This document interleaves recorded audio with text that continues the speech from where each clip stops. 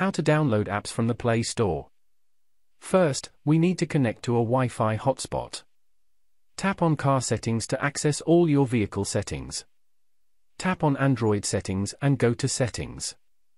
Tap on Network and Internet followed by Wi-Fi and connect to a hotspot. Next, we will sign into your Gmail account. Go back to your Android settings and tap on Accounts and again on Add Account to sign into your Gmail account. Enter your email and password. To download apps, open the app drawer and search for the Play Store icon. Search for your desired app and tap Install.